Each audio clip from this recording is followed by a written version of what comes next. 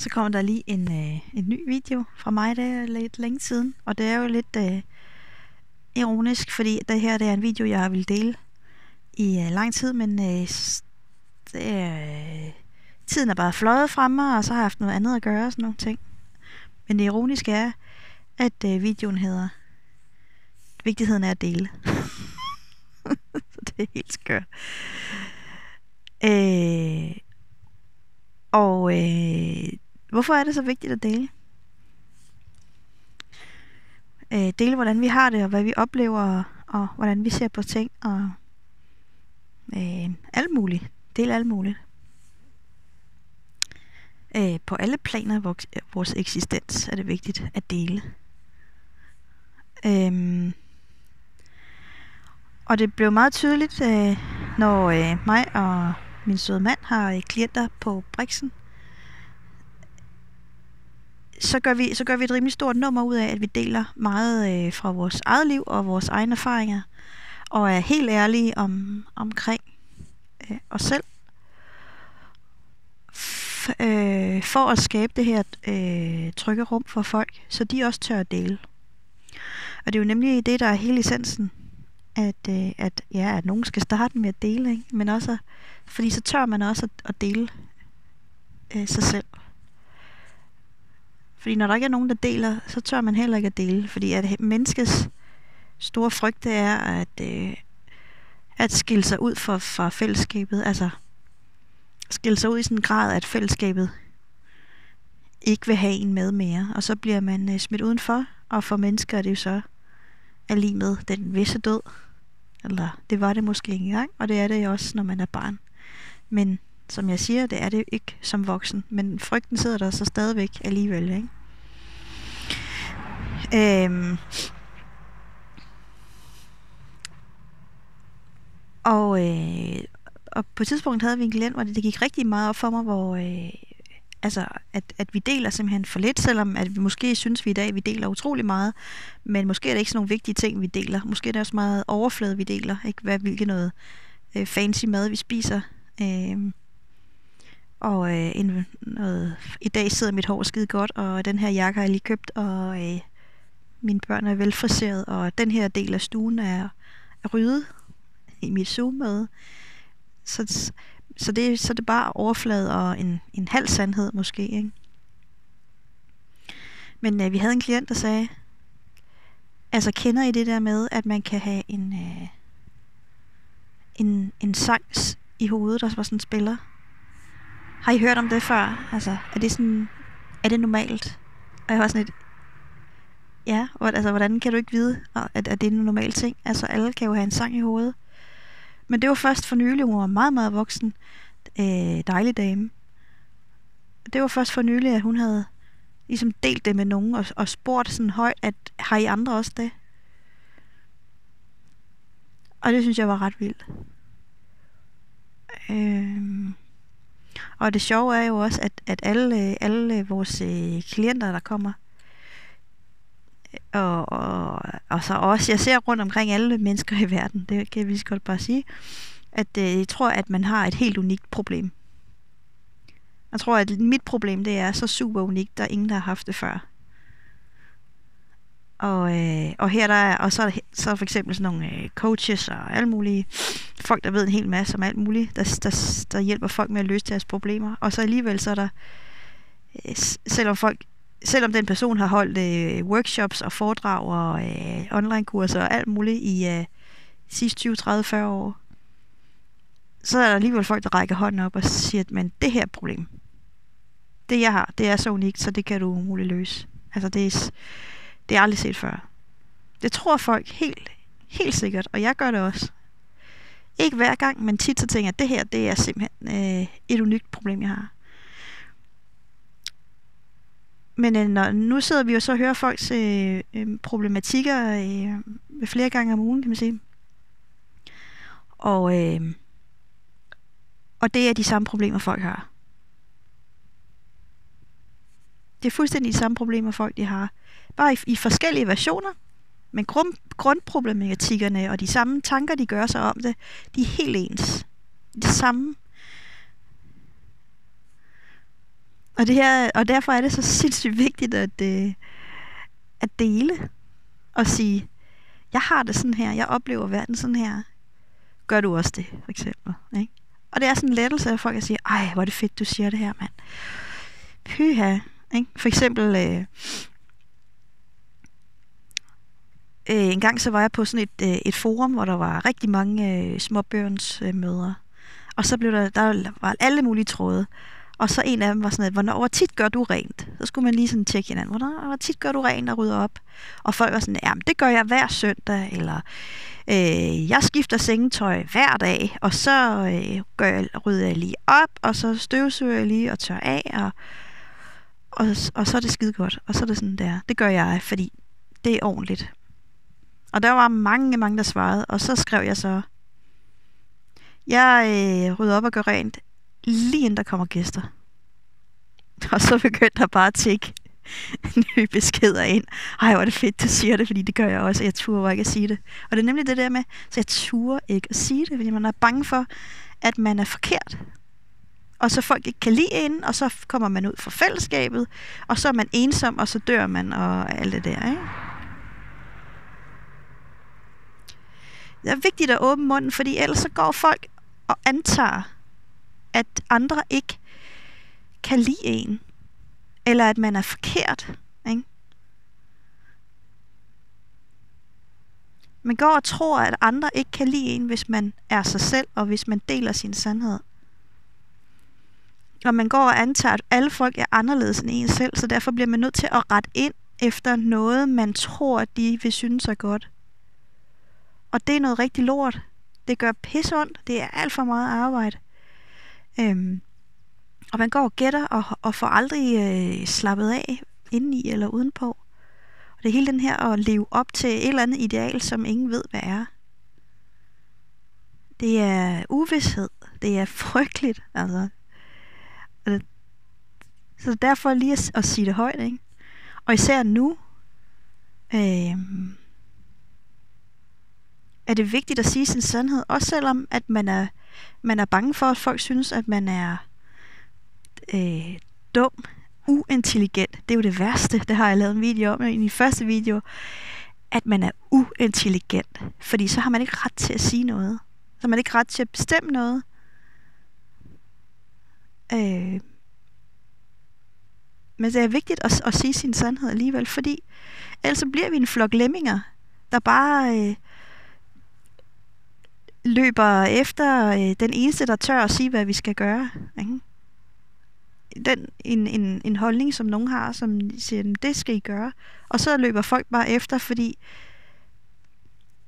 ellers så bliver, kommer jeg uden for fællesskabet. Og det er farligt. Men det er jo lige så farligt bare at løbe med, hvis du ikke ved, hvad det er, du løber efter. Hvis du ikke kan stå inden for, hvad de andre gør, Det er jo ikke okay, for eksempel, at øh, lige pludselig får vi at vide, at vi skal... Øh, at noget af det værste, jeg kan finde på, det, at det er at flå dyr levende. Det skal vi gøre. Nu skal vi flå vores kæledyr levende. Det skal vi alle sammen gøre. Og der er ikke nogen, der tør at stille spørgsmål og sige, det synes jeg er en dårlig idé.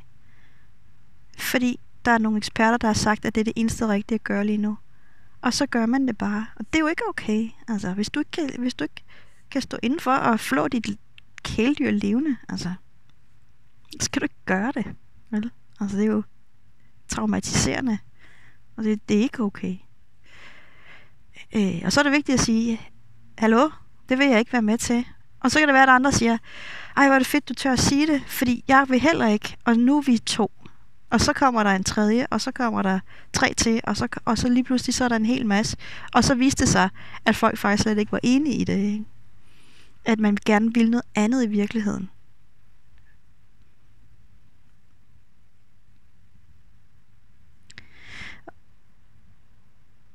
Så det er vigtigt det at dele, så du, så du kan finde det fællesskab, hvor øh, du trives bedst.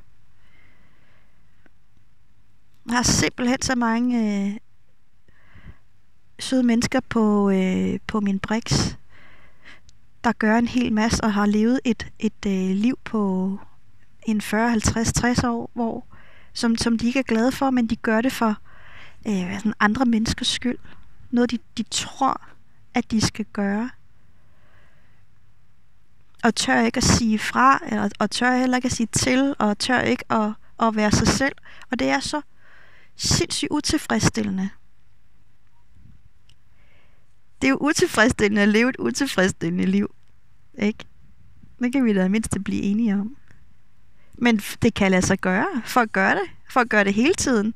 Men jeg ser rigtig mange nu, øh, hvor folk er så sindssygt presset på alle mulige måder, der siger, det kan jeg ikke mere. Jeg gider ikke mere. Jeg, for jeg ved ikke, hvor lang tid jeg har igen. Og så siger jeg, okay, men hvad skal der så fyldes i dit liv? Hvad skal dit liv bestå af nu? Og hvis du ikke ved det, så starter du bare med sådan nogle bitte små museskridt. Og øh, skriver ned for eksempel.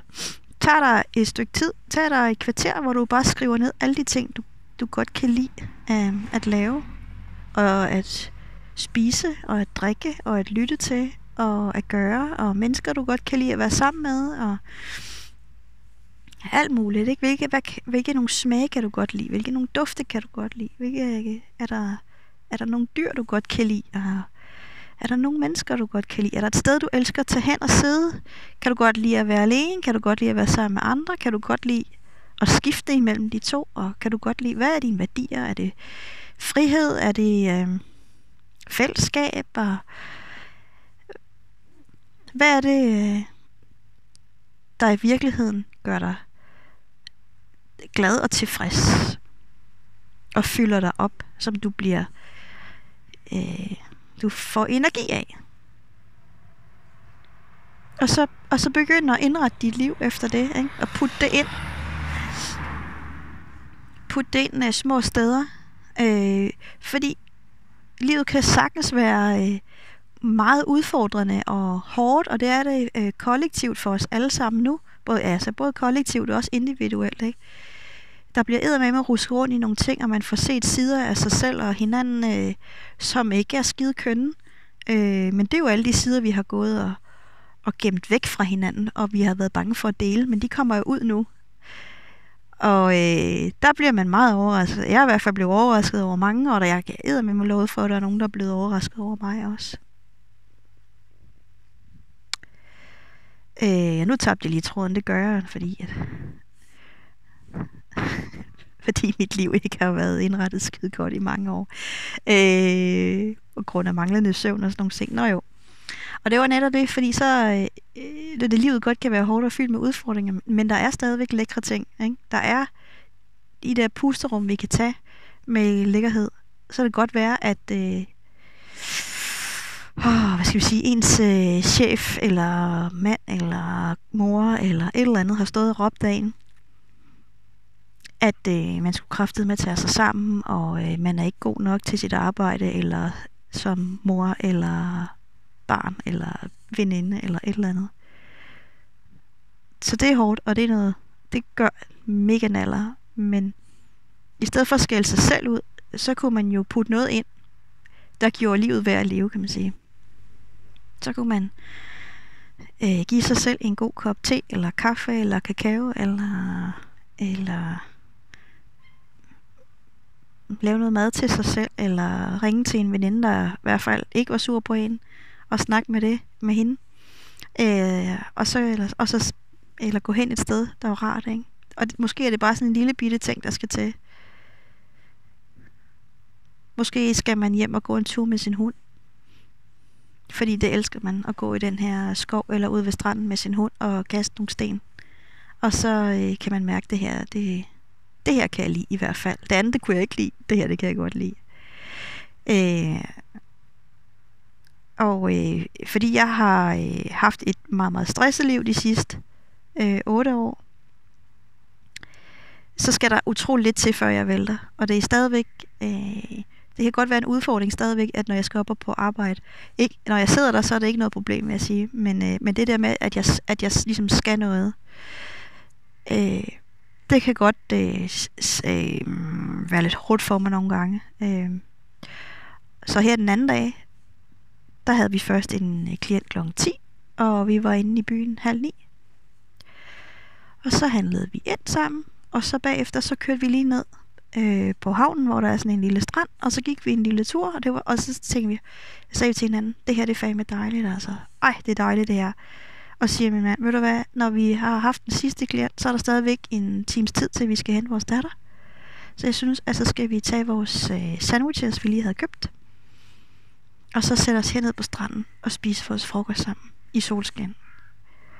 Og det var simpelthen bare så dejligt at tage sig den tid, fordi tidligere, der ville vi bare have sagt, åh, oh, vi er tidligere færdige i dag, så kan vi jo hente vores datter tidligere, og så kører vi bare tidligt hjem. Og, men så vil møllen jo bare køre, ikke? Så vil man komme hjem, og så vil man, åh, jeg skal også lige have sat en vask over, og jeg skal også lige have øh, et eller andet, øh, ordnet haven lidt, og jeg skal også lige, og jeg skal også lige, jeg skal også lige.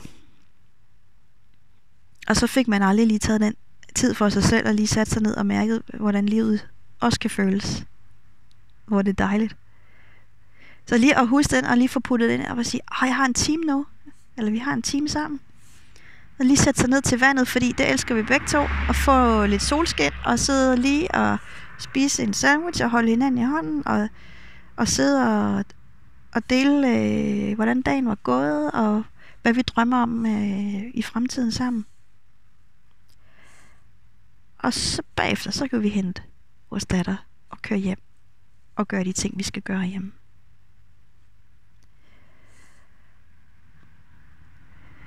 Og det deler jeg så også med dig nu. Fordi det kunne være, at du lige havde brug for at vide det. At jeg lige blev mindet om, at sådan kan man også gøre. Fordi det er ikke øh, rigtig sådan, at, øh, at øh, hverdagsnormen den bliver stillet op. Fordi der får vi tit at vide, måske enten direkte eller indirekte, at, at, at selvomsorg og, og de her pauser øh, og livsnydelse, hvad man, jeg ved ikke, om det hedder det, livsnydelse, at, øh, at vi får at vide, at det er egoistisk på en eller anden måde, ikke? Og så går der tid fra andre. Men det er jo der, vi, øh, det er der, vi lader op, det er der, vi bliver glade, og det, så er det derfor, at vi kan at give videre til andre. Så kommer lige vores lille kat. Hej, Carlos. Carlos. Ja, numsehul. så lige nu der sidder jeg her og tager lidt sol, tager lidt tid for mig selv. Og ærer min kat og kigger ud øh, på marken og hører fuglene pippe. Og, og det er sådan, jeg får energi lige nu. Og så kan jeg gå ind og lægge tøj sammen lige om lidt.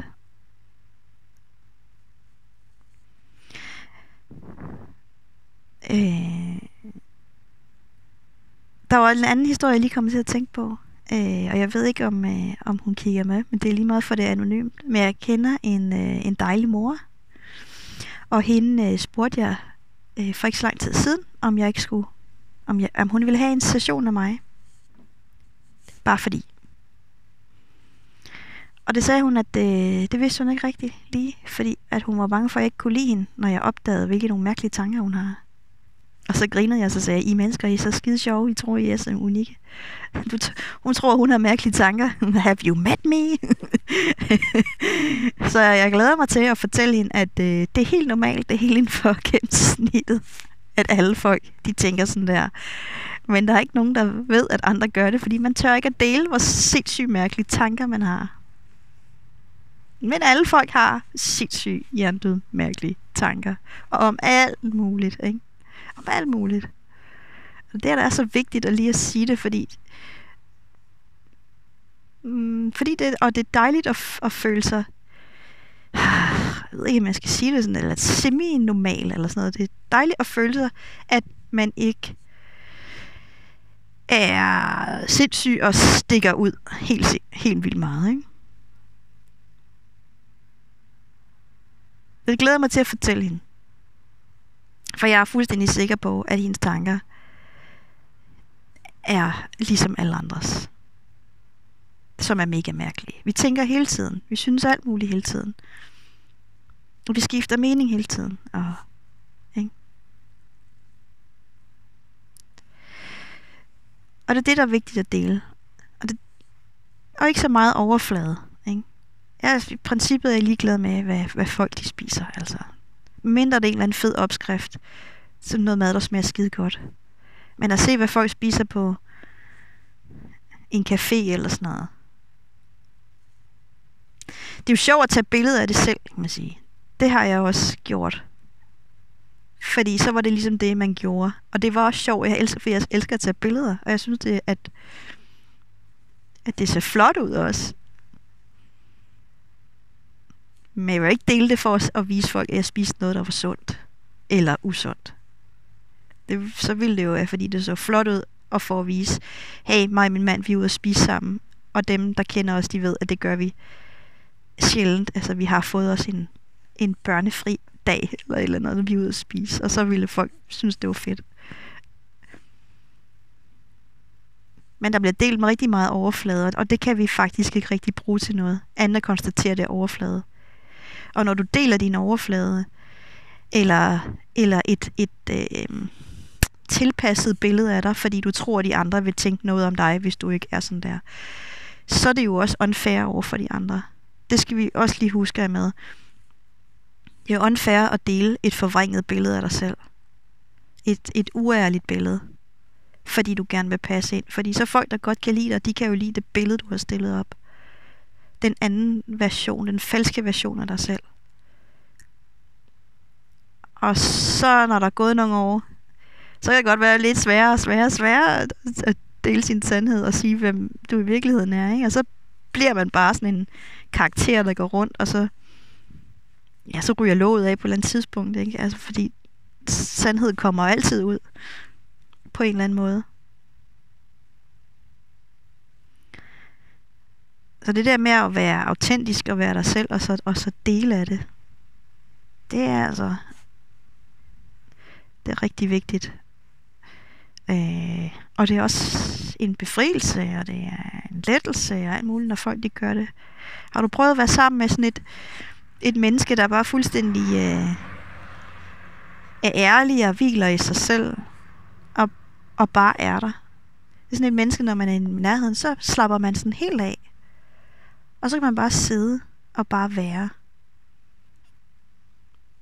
Ikke, der være ikke nogen forventninger øh, til noget.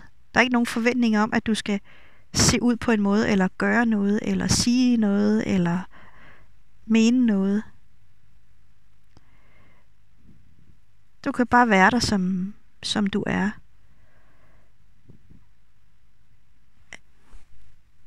Det synes jeg i hvert fald er fantastisk. Det er få gange, jeg har prøvet det, men de gange, jeg har prøvet det, der har det bare været mega fedt. Og øh, jeg ønskede selv, at jeg var sådan en person, som folk kunne slappe af omkring. Altså, jeg tror, det er muligvis på mit arbejde, der er der nogen, der har sagt det øh, et par gange. At det kan jeg der. Og de kender mig ikke privat. Jeg har ikke, jeg har ikke fornemmelsen af, at, at mit private jeg er sådan en, man slapper af omkring. Nogle gange måske, men, øh, men ikke, i hvert fald ikke hele tiden. Øh, men de findes derude, de mennesker og øh, det værdsætter jeg utrolig meget. Ja, så øh, hvis du tror, du er mærkelig, så kan du godt tro om igen. Der er altid nogen, der er mere mærkelige end dig. Øhm, ja. Og hvis du tror, du er så unik med alle dine problemer, så nej, det er de samme problemer. Det er, de, det er den samme rumdragte øh, maskine, vi løber rundt i her, øh, vi alle sammen har. Og der, den, den mekanik, den er på en bestemt måde. Og der er de følelser, der er. Altså det er sådan en farvepalette, ikke? hvor der er fem farver eller sådan noget, og så kan man så blande dem. Og, og det er det. Altså, så det, det er det, du kan have. Om det er lysebrun eller lyse lysebrun eller sådan noget.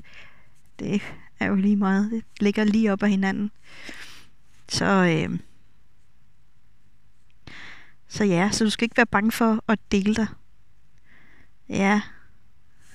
Øh, en nødvendighed for at trives, det vil jeg våge at påstå. Så du kan være helt ærlig over for dig selv og over for andre. Så skal du ikke gå og passe på længere. Hvad du siger, hvad du gør. Fordi, og så ved folk også, hvor de har dig. Kender dine grænser og dine værdier og sådan nogle ting. Og det er simpelthen så dejligt, når man, når man ved, hvor man har folk henne.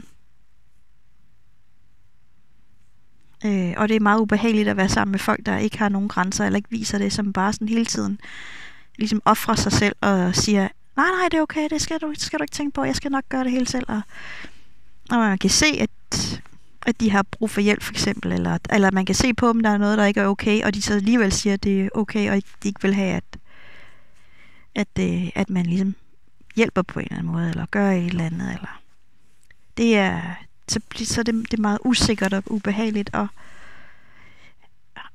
at være sammen med sådan et menneske, fordi så man kan, hvor man kan se og høre, at det ikke er sandheden, de siger, men de insisterer på det. Og det synes jeg ikke er rart, i hvert fald personligt. Øhm, og det er jo derfor, børn de er, som de er. De hele tiden, nu vil sige, de søger grænser.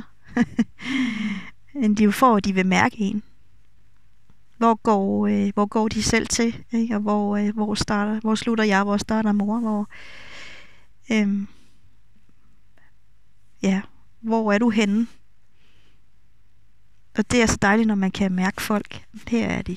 Her er du, og her er jeg. Så ja, det var min deling for i dag. Og jeg håber, du kan bruge det til noget. Tag, du kan, det, tag det, du... Åh, det er svært at sige. Tag det, du kan bruge, og lad resten være. øh, ja. Det var det. Ha' en øh, rigtig dejlig dag. Forhåbentlig med noget solskin og nogle øh, pusterum og nogle øh, kærlighedsoaser på en eller anden måde. Du kan gøre noget dejligt for dig selv i dag, så du kan være noget dejligt for andre mennesker også. Biler knaller der lige forbi her. ha' det dejligt. Hej.